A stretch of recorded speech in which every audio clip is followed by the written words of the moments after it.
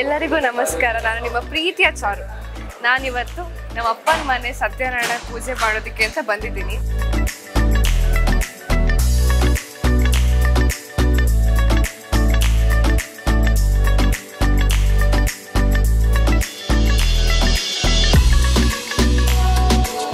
Madam ಒಂದು ಕೈ ಮುಗಿ ರೆಡಿ ಮುಗಿರಿ ಹೌದಾ? ಓಕೆ ರೆಡಿ ಪೂಜೆ ಮಾಡಿ ಎಲ್ಲ ನನಗೆ ಅಭ್ಯಾಸ ಇಲ್ಲ. ಅಂದರೆ ನನಗೆ ಮಂತ್ರಗಳೆಲ್ಲ ನಿಜವಾಗ್ಲೂ ಬರಲ್ಲ.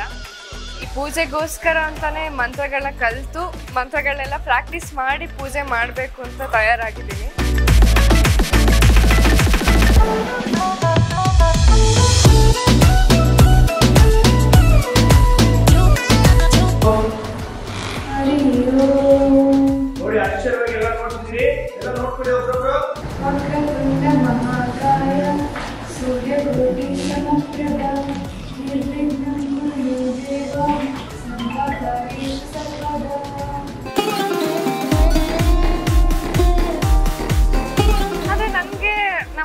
ಪೂಜೆ ಮಾಡುವಾಗ ಮಂತ್ರಗಳನ್ನ ಕೇಳಿಸ್ಕೊಂಡು ಅರ್ಧಂಬರ್ಧ ನೆನಪಿದೆ ಅಷ್ಟೇ ಬಿಟ್ರೆ. ಮಂತ್ರಗಳು, ಪೂಜೆ ಅದೆಲ್ಲ ಅಷ್ಟು ಗೊತ್ತಿಲ್ಲ. ಆದ್ರೂ ನಮ್ಮನೆ ಪೂಜೆ, ನಮ್ಮ ರಾಮಾಚಾರ್ಯ ಪೂಜೆ ಅಂತ ಹೇಳ್ಬಿಟ್ಟು ಎಷ್ಟೇ ಆಗಲಿ ಎಫರ್ಟ್ಸ್ ಆಗ್ತಾ ಇದ್ದೀನಿ. ಹೇಗೆ ಬರುತ್ತೋ ಗೊತ್ತಿಲ್ಲ. ಯಾಕಂದ್ರೆ ನಿಮಗೆ ಗೊತ್ತು ನಮ್ಮ ಕಥೆಲಿ ಏನಾಗ್ತಾ ಇದೆ ಅಂದ್ರೆ. ಪೂಜೆ ಹೇಗಾಗುತ್ತೆ ಅಂತ ನಿಜವಾಗ್ಲೂ ಗೊತ್ತಿಲ್ಲ. ಹಾಗಾಗಿ ದೇವ್ರ ಮೇಲೆ ಭಾರ ಹಾಕಿ ಪೂಜೆ ಕುತ್ಕೊಳ್ತಾ ಇದ್ದೀನಿ.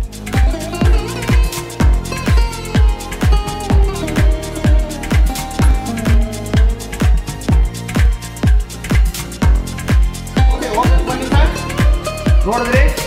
ಓಕೆ.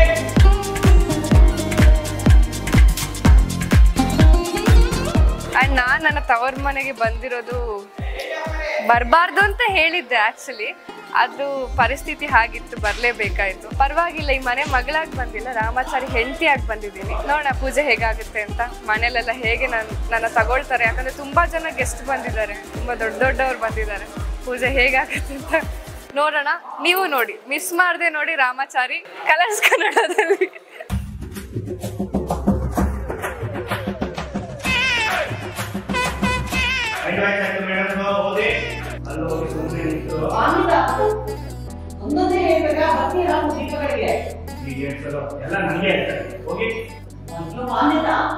ಚಿಕ್ಕ ಮಕ್ಕಳಿಗೆ ಒಂದೊಂದಾಗಿ ಓದಿ ನೀವು ಹೋಗಿ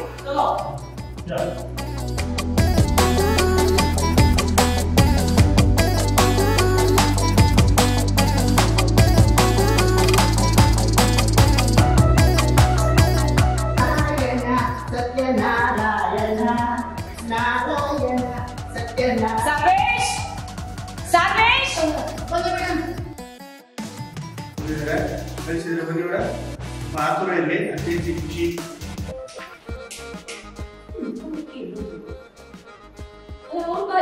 ಆ, ಸರ್ ಸರ್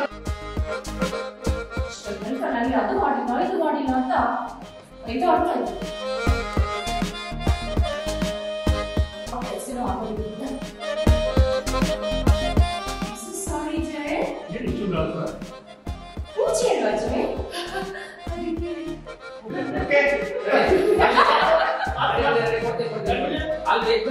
ಚಂದ ಇದ್ರ ಮೇಡಮ್ ಗುಡ್ ಚಂದ ಇದ್ರ ಮೇಡಮ್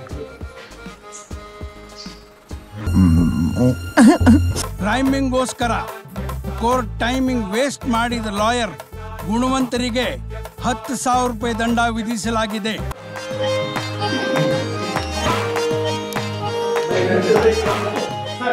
ಒಟ್ಟಲ್ಲಿ ಖುಷಿಯಾಗಿದ್ದು ಬರ್ತೀನಿ, ದುಃಖದಲ್ಲಿದ್ದು ಹತ್ತೀನಿ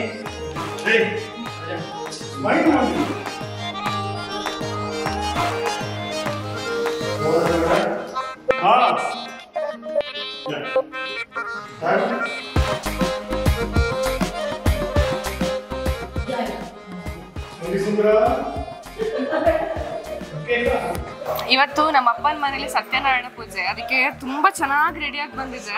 ನಾನೇನೋ ನನ್ನ ತಮ್ಮ ಒಂದು ಚಡ್ಡಿ ಶರ್ಟ್ ಹಾಕೊಂಡಿರ್ತಾನೆ ಅಂತ ಅನ್ಕೊಂಡಿದ್ದೆ ಇವನು ಚೆನ್ನಾಗಿ ರೆಡಿ ಆಗ್ಬಿಟ್ಟಿದ್ದ ಇವಾಗ ಬೇರೆ ಬಟ್ಟೆ ಬದಲಾಯಿಸ್ಕೊಂಡು ಬಂದಿದ್ದಾನೆ ಅಷ್ಟೇ. ನಿಮ್ಮ ಅಕ್ಕ ಹೇಗೆ ಕಾಣ್ತಿದ್ದಾರೆ ಡೌಟ್ ಡೌಟೇ ಇಲ್ಲ. ಯಾವಾಗ್ಲೂ ಚೆನ್ನಾಗಿ ಹೌದಾ? ಬೆಣ್ಣೆ ಆಗ್ತಿಲ್ಲ ತಾನೇ? ಯಾವತ್ತಾದ್ರೂ ಹಾಕಿದೀರ ಮತ್ತೆ ಪೂಜೆ ಎಲ್ಲ ಹೇಗಾಗುತ್ತೆ? ಯಾರು ಬರ್ತಾರೆ ಅಂತ ಅನ್ಕೊಂಡಿದ್ಯಾ? ನಂಗೆ ಐಡಿಯಾನೇ ಇರ್ಲಿಲ್ಲ ನೀವು ಬರ್ತೀರಾ ಅಂತ. ಹೌದಾ? ನಾನು ಕಾರ್ ಬಂದಾಗ ನೀವು ಇರ್ತಿ- ಇರ್ತೀರಂತ ಗೊತ್ತೇ ಇರ್ಲಿಲ್ಲ ನನಗೆ ರಾಮಾಚಾರಿ ಭಾವ ಬರ್ತಾರೆ ಅನ್ಕೊಂಡಿದ್ದೆ.